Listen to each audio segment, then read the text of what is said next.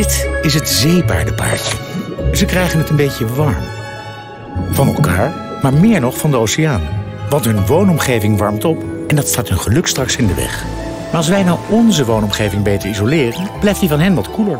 Dus verduurzaam je huis, dan kun je van ons rentekorting krijgen op je ASN-hypotheek.